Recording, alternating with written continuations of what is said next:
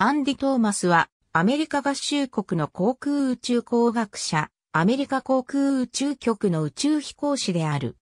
NASA の宇宙飛行プログラムに応募するため、1986年12月にアメリカ合衆国の国籍を取得した。同じく NASA の宇宙飛行士のシャノン・ウォーカーと結婚している。南オーストラリア州アデレード出身。セントアンドリューズ高校、セントピーターズ大学アデレード校を卒業し、1973年にアデレード大学で機械工学の学位を取得した。同じ研究テーマで1978年には博士号を取得している。彼は1972年版の Adelaide University Engineering Society の年間誌 Hysteresis に登場している。若いトーマスの写真の下には次のようなキャプションが添えられている。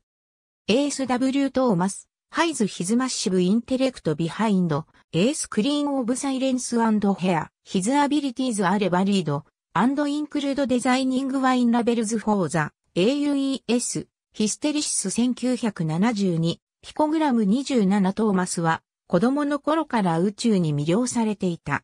父親は、彼が段ボールとプラスチックでモデルロケットを作り始めた様子を語っている。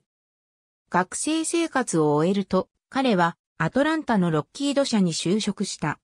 1年間の訓練を終えた1993年8月、トーマスはスペースシャトルのミッションスペシャリストの資格を得た。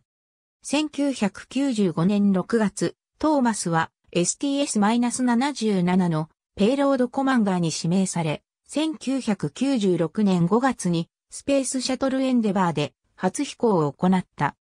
1985年にポール・スカリー・パワーが海洋学者として宇宙に行っているものの、トーマスはオーストラリア出身者として初めて宇宙を訪れた宇宙飛行士となった。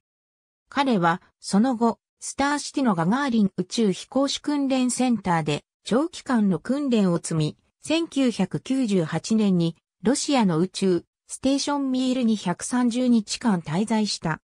このミッションでは STS-89 で打ち上げられ、STS-91 で地球に帰還した。彼の3度目の宇宙飛行は STS-102 で、彼の通算宇宙滞在時間は最終的に177日間以上に達した。4度目の飛行はコロンビア号空中分解事故後初めてのミッションとなったディスカバリーの STS-114 で2005年7月26日14時39分に打ち上げられた。ありがとうございます。